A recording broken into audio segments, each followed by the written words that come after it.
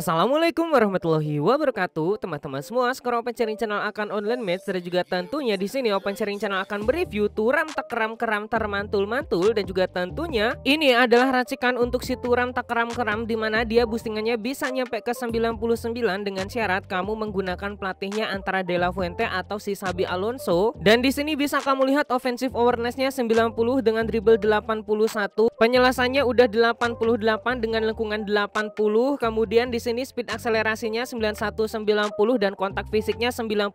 Ini bukan kaleng-kaleng sih teman-teman semua si Marcus Thuram ini mirip kayak Eto'o yang versi pemburu gol. Kemudian dia udah ada Marseille turn sundulan uh, tinggal kamu tambahin super atas udara pasti udah ngeri-ngeri. Dan di sini wuh lawan gua pakai pelatihnya Stevie Gerrard teman-teman semua dan strateginya umpan panjang. Aduh kita sekalian coba lihat aja teman-teman semua strategi umpan panjang dari lawan Open Sharing Channel. Oke disiarkan langsung dari Stadion Utama Manan Solo terjadi pertandingan antara Estagis dan juga tentunya Rote Bakar si cantik. Dan di sini teman-teman semua gua akan langsung aja mencoba untuk mereview si Markus Turam tak keram-keram. Karena si Markus Turam ini adalah salah satu pemain langka ya yang bisa kamu dapatkan di nominating item tak ketem-ketem termantul-mantul. Lanjut saja kita aduh kok malah Bape tak kepe-kepe termantul-mantul. Padahal aku inginnya si Turam teman-teman semua tapi malah uh, si Turam berfungsi sebagai penarik ya. Di sini bisa kamu lihat tuh dia menjadi pemantul teman-teman semua untuk Messi dan juga tentunya teman-teman semua dia yang menarik center back lawan Open Sharing Channel sehingga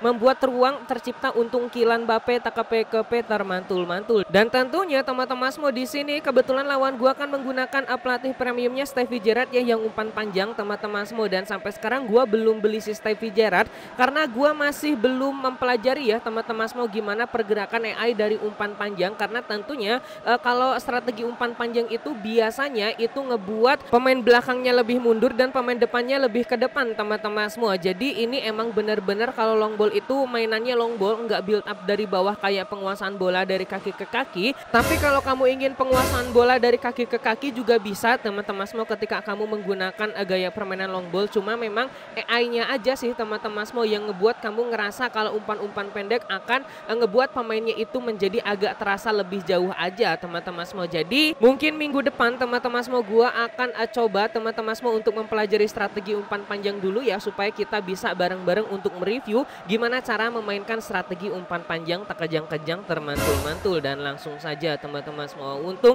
di sana masih ada Ski Mitchell tak kecil-kecil aduh hampir saja ngelawak Ski Mitchellnya langsung saja di sana masih ada Opasion Humin. Kita kembali berikan kepada Messi. Di sana ada Turam langsung saja. Nah ini nih teman-teman semua Turam flashing tak kasing-kasing termantul-mantul. Nah sekarang itu meta CF yang memiliki kontak fisik yang bagus ya teman-teman semua. Nah di sini bisa kamu lihat kemungkinan besar si Turan tekeram-keram ini bisa melenggang dengan baiknya karena tentunya dia punya kontak fisik yang bagus ya. Jadi walaupun di body-body sama Costa Kurta teman-teman semua dia tidak kehilangan keseimbangan sehingga teman-teman semua masih bisa untuk uh, melepaskan diri dari Costa Kurta dan melakukan placing tak kesing-kesing dan membuat kedudukan menjadi 2-0 tak kesong-kesong termantul-mantul. Jarang-jarang teman-teman semua ada penyerang pemburu gol dengan kontak fisik 90 ya biasanya teman-teman semua. Pemburu gol itu memang kekurangannya di uh, kontak fisik tetapi memiliki speed akselerasi yang bagus. Sementara si Turam ini teman-teman semua speed akselerasinya udah 9190 tetapi teman-teman semua kontak fisiknya udah 90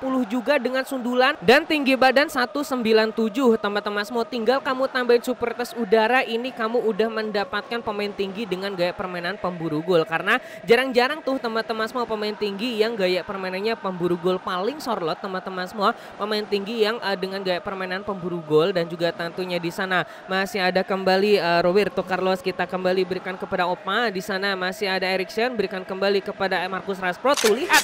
Gila gila gila gila teman-teman. Lolosnya di kayak gitu terus teman-teman. Semua lihat si Turam terang-terang sedikit langsung dia berikan flashing tak kesing kesing termantul mantul wow wow wow wow awalnya gue remehkan teman-teman semua karena pemain ini cuma ratingnya 90 99 aja ya teman-teman semua tetapi super power ya.